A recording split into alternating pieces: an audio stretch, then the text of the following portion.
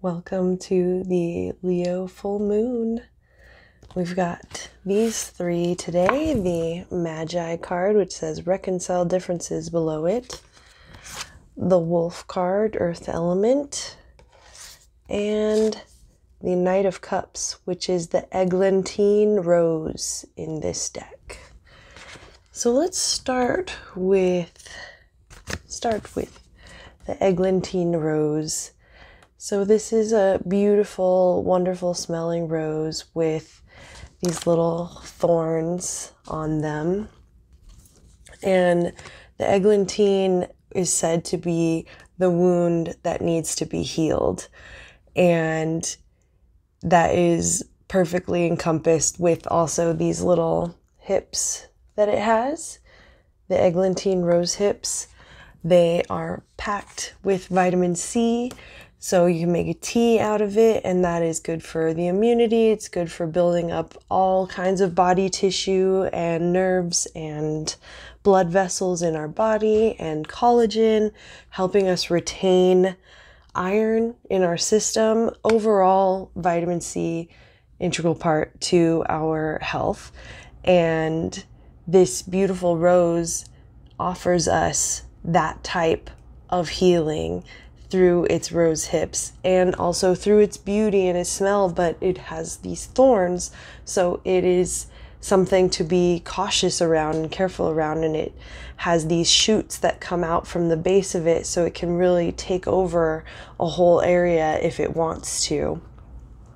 So, the Knight of Cups, cups being water element, and the knight being active masculine but not ascended like the king. So it's still figuring out how to actively move emotions, how to actively understand the wounds within us that need to be healed, and to understand that perhaps we can be a source of our own frustration, pain, stress, anxiety, all of these things, and how we can also be what can move us past anything stress, anxiety, pain, all of these things. All of these things are just a part of our individual being that gives us an opportunity to really acknowledge ourselves, to see ourselves, and to choose how we want to maneuver through this world. How do we want to maneuver through all of the triggers, through all of the pain, all of the all of the things that come up for us at any given time that send us into some kind of emotional spiral. It's very easy for that to happen for us as humans. We are very emotional creatures. And whether whether we're stuffing down these emotions or not is dependent on who you are. But the necessity is to understand that we all have an opportunity to heal, but we can't heal if we are not um, really focused on ourselves and like what are the emotional things that are coming up for us? How are we moving emotional energy through our life, through our bodies, so on and so forth. So this card really wants us to like take an active look at how we are managing our emotions, actively looking at how we're managing our reactions, like what is happening to us, and understand that we have the ability to heal whatever is happening to us, but it really requires a ton of self reflection and a ton of awareness and understanding and critical awareness, that is, of how we are manifesting and utilizing our emotions. They're constantly coming up for us. The, the chemicals are moving through our body. And oftentimes, if we're not careful and we're not paying attention, that's what leads us into ill health, into dis-ease, is because we're not paying attention to the signals that our body is giving us. And a lot of time, these signals can come at the beginning in the shape of an emotion.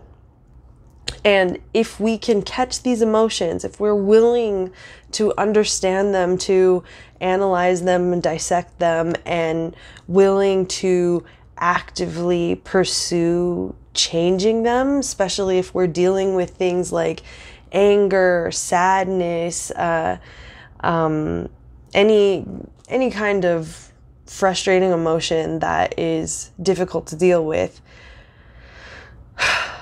the question is can we find the support that we need in order to facilitate the time and space needed to understand ourselves and be able to wade through these emotions so that we can hopefully heal these wounds and move into a healthier space overall.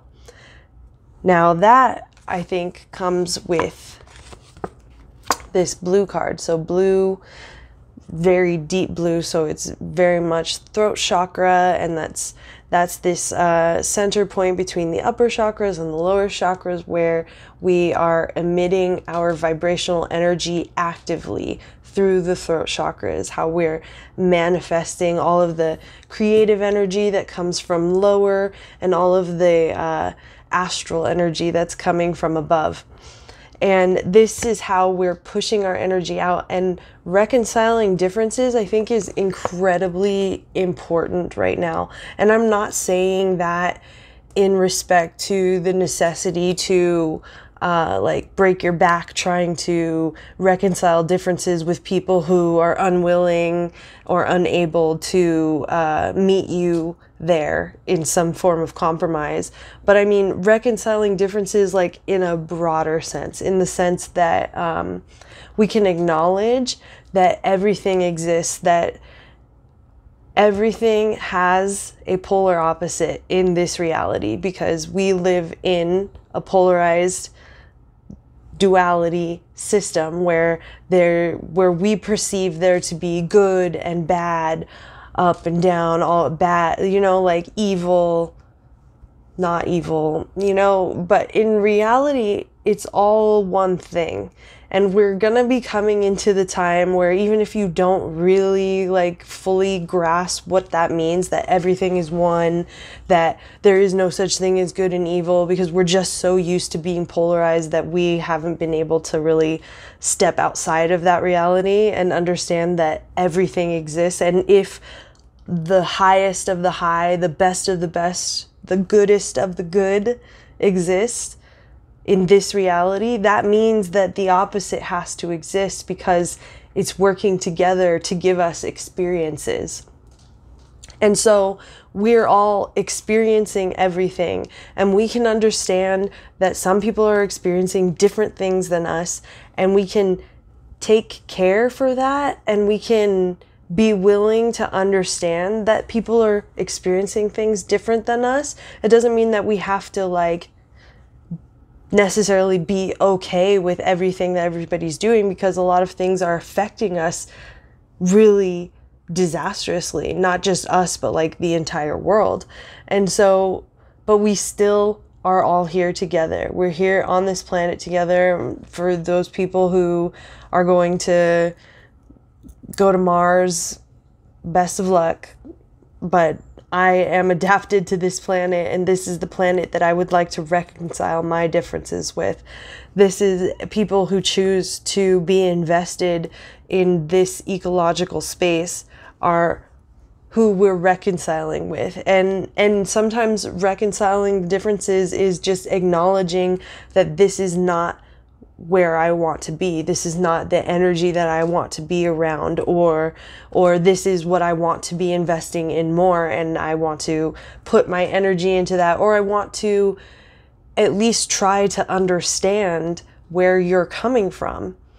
If I try to understand where you're coming from, then there's more likely of a chance that you could try and understand where I'm coming from. And if not, I can understand when to remove my energy from a situation because you can still reconcile a difference without having to be right, without having to control everybody, without having to control everything. Like we all have the opportunity to uh, accept that this is the world that we live in and this is what we're doing with it and how are we going to be bringing what is for the highest good to the best of our ability. That is our job in this. And so we have to be putting that energy out there in whatever way, shape, or form that manifests for us, whatever is our purpose, whatever it is that we choose to do to be showing up to this world in the best way possible is going to require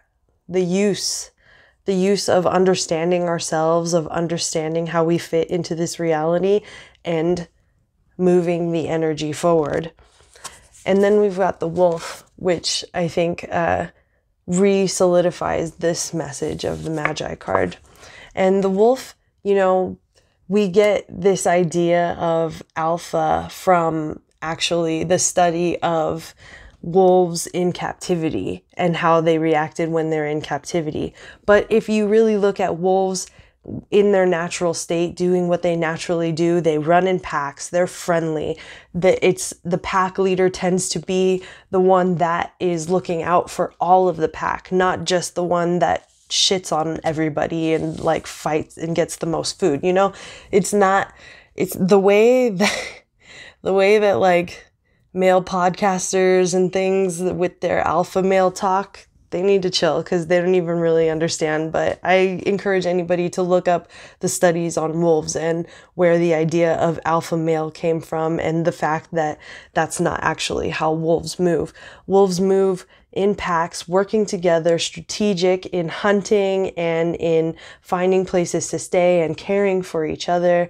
Wolves are magnificent creatures and they really like symbolically speaking, they're very territorial. So we're thinking about our boundaries. We're thinking about how we are creating boundaries for ourselves so that we, again, like we can reconcile differences without having to bend ourselves over backwards and to f- like lose ourselves in trying to make everything peaceful for everybody. That's not the point of right now. The point is who are we working with? Who do we want to be working with?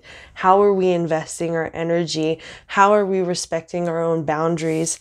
How are we reconciling our differences so that we're not carrying extra stress of shit that we can't control?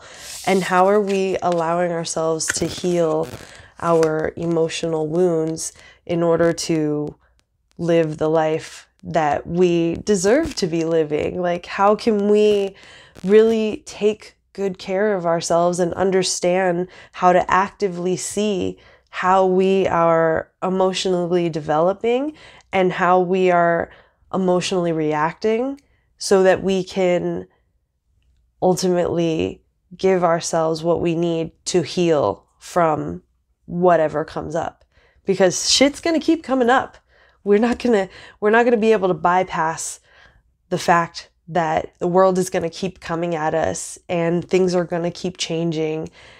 All we can do is ride the waves and to ride those emotional waves takes a, a fair amount of consciousness and support. We can't do it on our own. We have to work together and working together means that we have to invest in each other and we have to be kind to each other.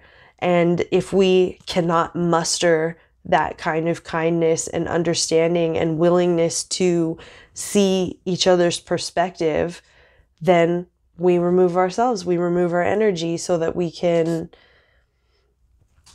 so that we can heal ourselves to whatever degree we need to heal in order to be surrounded by the energy that we want to, to invest in in our lives. So take this time to really understand yourself and your emotions and your boundaries and understand how you're emitting your energy right now because we need each other and we have to work together. And so it's really, really important that we do this work on ourselves so that we can show up for each other. So, blessings to your full moon in Leo, and I'll see you next time.